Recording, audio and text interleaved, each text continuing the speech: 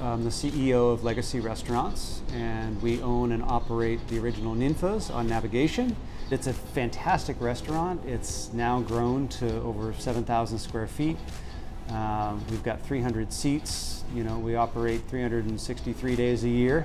You know, we like to think that we've really kind of elevated Tex-Mex cuisine and added some really awesome stuff to the menu over the years. As much as we want everybody to try the fajitas, you know, which originated here in 1973, uh, we also want to give people uh, something else to try. Uh, hopefully they come back at least once a week. My two most favorite things actually, one is the octopus tacos, which people don't think of as kind of your typical ordinary um, Tex-Mex, and we do this really fantastic mole rubbed salmon on grits that we uh, that make the salmon in the wood burning oven. Um, absolutely fantastic. I, I, see it as, as three really key touch points um, that have been real important for me. Uh, one obviously is the advocacy uh, part of it, which is important to everybody, you know, in the industry and how uh, the association can influence policy that's being made. Uh, second, obviously, is education. You know, through the foundation, that's that's really important, and we're all in the industry trying to figure out how to get more people involved in the industry so we can solve some of our labor shortage issues and things like that.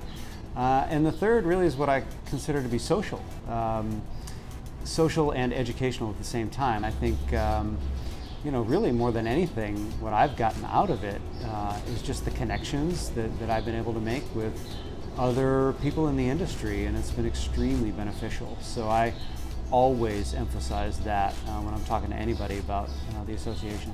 I consider hospitality to be treating your employees well, treating your customers well, and you know, finding a way to make everyone understand the overall mission of providing great food, great drinks, great service, great atmosphere. Mm-hmm. To me, thinking about hospitality, it is all encompassing um, from, from the corporate office to the management staff to the kitchen staff and literally to the vendors. I mean, it, ex- it, it, it extends beyond just the four walls of the restaurant and our operations.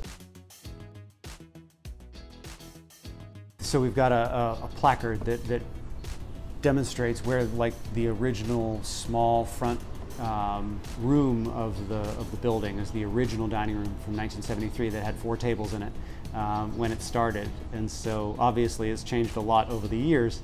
Um, but that's always fun and, and we have a lot of people you know take pictures with that and that's kind of a part of the iconic uh, uh, spot in the restaurant. One of the coolest things actually was, so we completely redid the kitchen. So we dug up the entire kitchen. It took 31 days to do the whole thing. And underneath the slab of concrete in the center of the kitchen, we uncovered a water well that had been covered over with brick from the old neighborhood. I mean, literally, as, as I'm sure it was outside at some point. It was obviously in the yard, and it got consumed by the expansion of the restaurant. It got covered over and it still had water at the bottom of it. It was about 15 feet deep and it was smack dab in the middle of the kitchen underneath everything. So we had to figure out what to do with it and had to fill it in and cover it over again. But we found doors that went to nowhere, you know, inside the walls and all kinds of weird things. You know, I, I was very fortunate in that I kind of stepped into a situation where there's a um, 40 some odd year old restaurant that's really a, a true icon um, in the Houston market and beyond. And there are literally generations of people who've grown up coming here and bringing their families here. And you know, it truly is uh, a part of Houston history.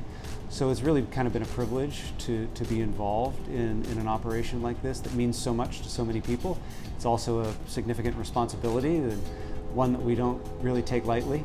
We've been extremely fortunate. The restaurant's 46 years old, and we have one server who's been here 42 years, and we've got her sister who's been here about 36 or 37 years. So, uh, and there are others too have been here two decades or more. So. Uh, we have a, a nice combination, a blend of folks like that who've been around literally for decades, and then sort of the new blood that, that comes through. Uh, we've grown literally every year um, for the past, more than the past decade, really, and uh, you know, we, we, we don't really show any signs of slowing down, which is kind of the way we like it.